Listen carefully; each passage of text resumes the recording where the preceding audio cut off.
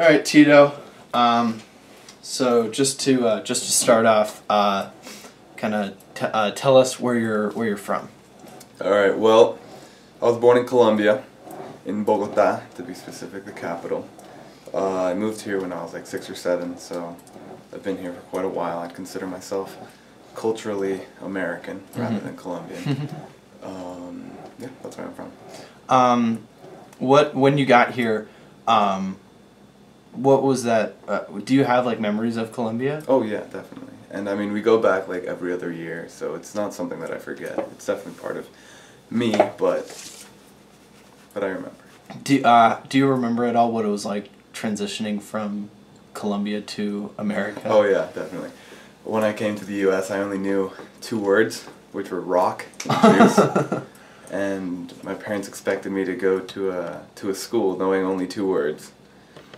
And those were by far probably the most difficult times of my life. Trying to get by Just in a foreign rock and juice. Yeah, rock and juice. Uh, well then, how did you end up learning the rest of the uh, dictionary? Well, here's the thing. By the time I was in school, obviously, like there was hardly any people that I could communicate with, except Mhm. for like uh, the Cuban immigrants that also lived in Florida. Oh yeah, by the way, I moved to Florida instead of coming straight here.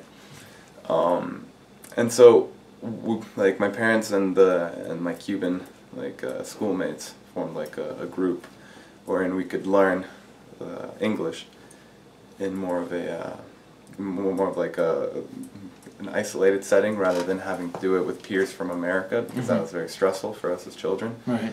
So they hired a uh, a teacher and uh, me and these like ten other kids would get together. I think it was every Tuesday, Wednesday, and Thursday to to learn English. Did you was was that? How long did you do, have to do that then? Were you still in regular school at the yes, same time? I was still in regular school, but because I didn't know the language, they had special classes for us that was that were taught in Spanish and English. Okay. How long did it take you to end up learning beyond rock and juice? Well, beyond rock and juice, obviously it took me like a day or two to learn more words, but to learn like sentence structure, grammar, and all that, it didn't. It didn't take me as long as I would have expected nowadays. Like, it took me approximately like two months ish to get like the hang of it. yeah, that's pretty good. Yeah. And I mean, besides, you were already like six, so most of the other kids probably didn't know Exactly. much about that anyway. Exactly. Um, so, uh, so once you learned uh, some more words, uh, uh, what, um, and we're talking in school, what, what were those schools? Like, what schools did you go to? A lot. My parents and I moved around quite a lot. In Colombia, I went to the school called the English. The English. The English, el inglés, right? And um, ironically enough, they didn't teach you English there. so, um, so that's where I went to first.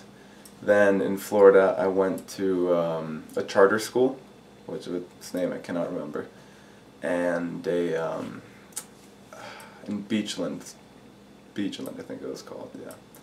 Then after that, I moved to Colorado, and uh, I went to hygiene hmm for like a year. Then I went to Westview, and then I went here. To Silver Creek. So, yeah. Um, uh, your time here at Silver Creek, what has been, um, what was your most pivotal moment here at Silver Creek? Okay. Um, most pivotal moment. Failing ninth grade English. really? No, yeah, because I mean it's the easiest. Just right class. back to where you started. The easiest class, but I was just messing around the entire time, and that really taught me to like get in gear and, and just start focusing on school. Cause that was just the most embarrassing moment of my life when I told my mom I failed ninth grade English. You got an F. I got an F. Like, I not to, like- I had to retake it. it was bad. Oh, why? Why was it such a struggle? Like, why was it? Well, were you- because I- I came here like, and there was so much more freedom that I had before when I was in middle school. So at Westview. Yeah, exactly. So, so it was just like I can do whatever I want, and and so I just spent my time doing nothing, being on my phone, and that led to my failing ninth grade English. What did you change in order to get away from being distracted so much? I just have to tell myself that as much as schoolwork sucks and as boring as it is, I need to do it because it's for the good of my future. What um was there anything in high school that really stood out to you? Like not like not like a personal thing like failing ninth Mhm. grade English, more like uh more like a, uh something that happened where we were all where we all experienced it. Do you know what I mean? Where like we're at an assembly and something weird happens, something like that. Mm, you were in my SCLA class, right? Uh, which grade? In ninth grade. Uh, I don't. Miss I don't, I don't think so. Okay. Was it first semester? First semester, yeah. Then I, I, yeah, it probably was. Yeah. Okay. Well, um, this doesn't necessarily happen to everyone, but it happened to the class, and really, it really marked like the rest of my high school career, at least, and I think it marked uh, Garrison's too. but um, when I was in the first semester at CLA, we had to do, you know, have to you had to write on the boards and, and say like what your goals were, and then at the end you'd have to break them. Mm-hmm. Yeah. Oh yeah, on the Yeah. on the plank. Exactly. Yeah. So when we did that, Garrison and I were just like starting to know each other, but he really didn't like me. He, he thought I was like a total tool. Um, and so after we broke them, there were like three boards left, and so Miss Gurley decided to put them up, put them all three like on there, and just, like asked whoever wanted to try and break them. So Garrison, being who he is, he tried to go up there first, right? And it, him and I were behind the boards because we were both the ones that wanted to do it, and everyone else was in front. Mhm. So he he decided to like hit the board as hard as he could, and from the side that everyone else was standing at, the board didn't even move, right? Mhm. But the side that we were on, there was clearly like a big crack in it, right? But everyone didn't see that, so they just they just thought like Garrison couldn't do it. so I went up and I hit it, and of course it broke because it was already like weak, way down the middle. And that started Garrison like hating me for at least two semesters. And then after that, I don't know what happened. We had a few more classes together, and um, and we just became like really close friends. So now that Garrison has moved beyond the the spite he felt Yeah. because of the plank, uh, and and clearly breaking the board. Yeah, clearly. Um, what uh, what what do you guys do now? Like now that you guys hang out together. well, number one thing, he introduced me to rock climbing, which um, Oh, okay. yeah, which for for our friend group is like the number one thing, and we go there like every other day. Who who specifically? Uh, who specifically? Yeah. Uh, let's see, Garrison, Austin, Tim, Sage, Maya, Sage and Maya Zach, yeah. climb wall. That's cool. Or rock climb climb wall. That's Zach Heller. Oh, before Danielle left for uh, for Peru, she'd go with us. Uh, Luke Shank would go with us. So I mean, we had a Pretty big sizable- group, Yeah, yeah. we, even had Mr. Smedley go with us one time. Oh, that's cool. Know, it was really fun. So that's like that's like the number one thing we do. What is it? Where do you guys do it usually? Uh, in Boulder, there's a gym called the Spot, but whenever it's warm out and we have the mats, we'll we'll go up to the mountains and find some places to climb. And how do you guys like organize it? What's that like? Do you guys just like decide and Yeah, all meet decide- up there? Yeah, exactly. What do you guys? What's I mean I've never rock climbed Mm-hmm. before, so what what do you? Just, I mean, just talk about rock climbing because I have like I I mean I, I have a couple stories that my dad has told me, but Mhm. like I don't know. All right. Well, more specifically, we boulder rather than rock climb. Okay. which is essentially just rock climbing but without the ropes, right? So Okay. it requires just a pad on the floor and you not being too scared, right? So, I mean, it's really it's not a team sport, but it can be Right. because there's difficult and challenging problems that you need to ac- accomplish, and if you have somebody there helping you with it, it really like speeds up the process. So, I mean, having a group like that really is it's not necessary, but it's definitely something you want. Right. Um, and I couldn't be more thankful for having those friends to, for us to help each other. What do you um? Do you guys do anything else besides rock climbing? I mean, we used to, yeah, definitely. We tried, we tried wrestling specifically. Zach and I did rugby, but really the only thing that's really stuck with me is rock climbing. Why do you think that is? I don't know. I think it's just something like. First of all, I'm really bad at team sports. I don't know why. I just cannot play in a team sport. But any solo sport that I can do with my friends is like the number one thing. For example, with wrestling, that was that was so much fun, but everyone else hated it, so Mhm. we didn't stick with it. I don't know why rock climbing stuck. I really don't, but I'm I'm glad it did because it's really fun. Um, you, you said that you did wrestling, Yeah, uh, but you only did it for like for what- one season. For one season. W- what didn't you like about it? Oh, I loved it. I Oh, loved every loved aspect of it. Yeah, I, I just really hated doing it alone, so it wasn't even worth it. Like, it. It was fun, but it was definitely not worth doing it by myself. So, um, after high school, what what do you plan on doing? Um, well, I was um, I've been talking to a Navy recruiter, Okay. and um, I got a high enough score on my ASVAB, uh, 90 out of 99, which is really good. Yeah. And um, he's encouraging me to join the uh, the nuclear tech program. Like McGee. Like McGee. That's exactly. awesome. Yeah, exactly like McGee. And um, that would either require me being in a nuclear submarine or, a, or an aircraft carrier, depending on what, I- what I want to do. But as of right now, nothing's set in stone, and uh, still have yet to decide. Do you think you want to do it though? I'm thinking about it, yeah. Like you're leaning towards it. Leaning towards it. So, um, not in high school, but more broad, like Mhm. in, in your entire lifespan.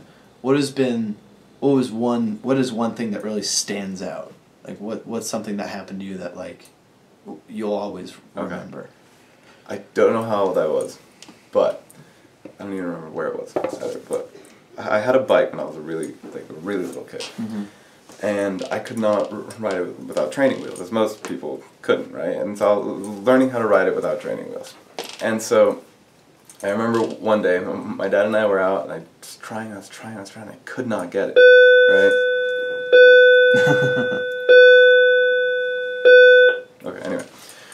And um, so we, we go back inside, and I was crushed. I, I felt so bad, and I really wanted to get it. So I told my dad if we could go outside and try it one more time. And he was like, You're not going to get it right now. We just tried it. but I kept insisting, and I kept begging him, and I uh, like and finally he relented, and he decided, All right, fine, we'll go out and try it just once.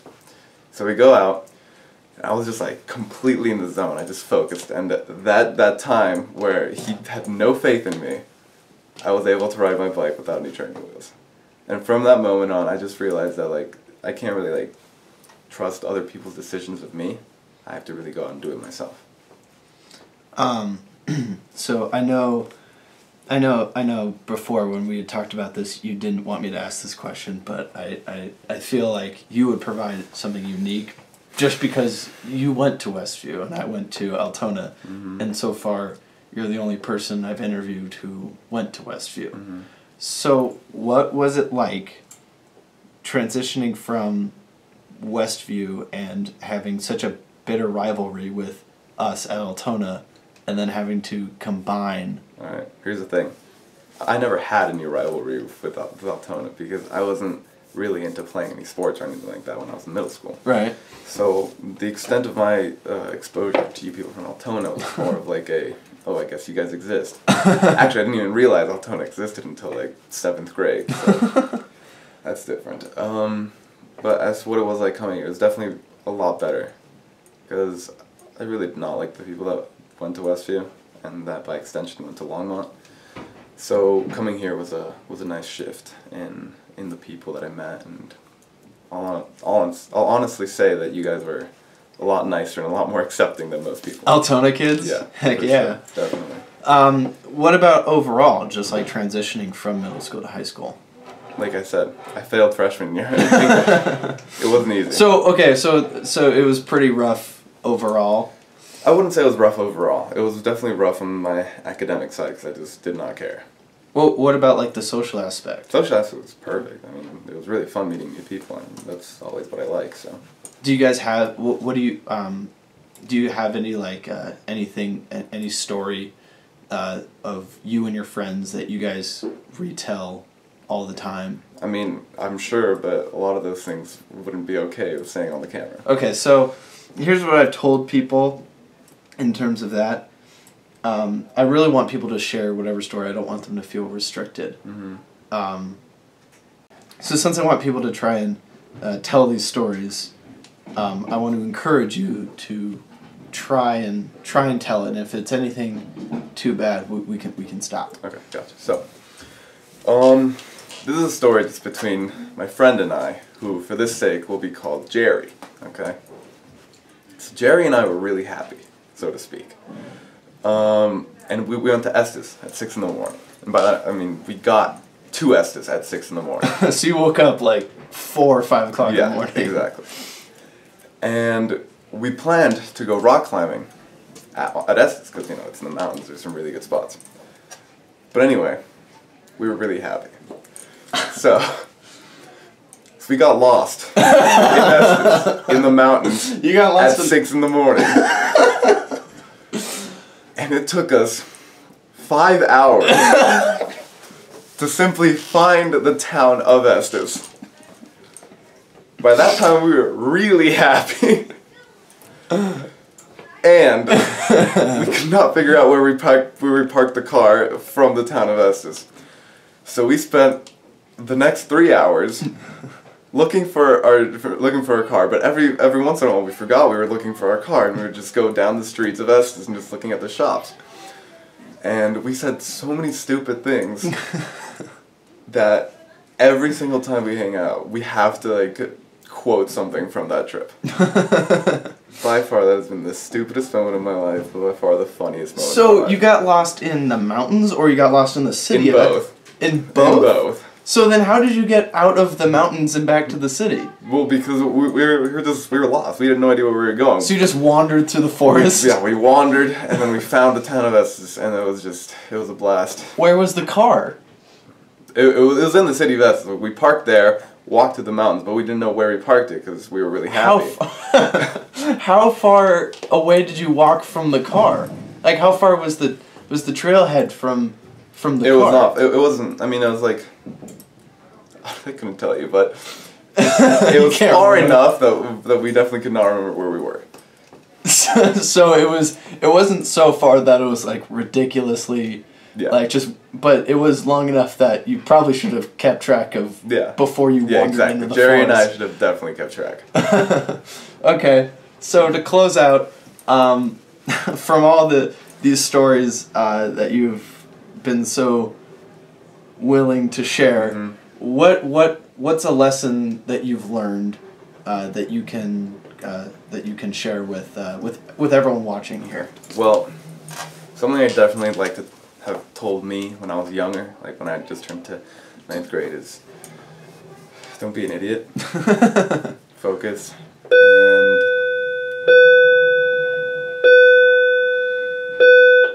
focus and just although like experiences here are going to be very fun. You have to you have to kind of like gauge yourself and what you're going to do because you can definitely take things too far.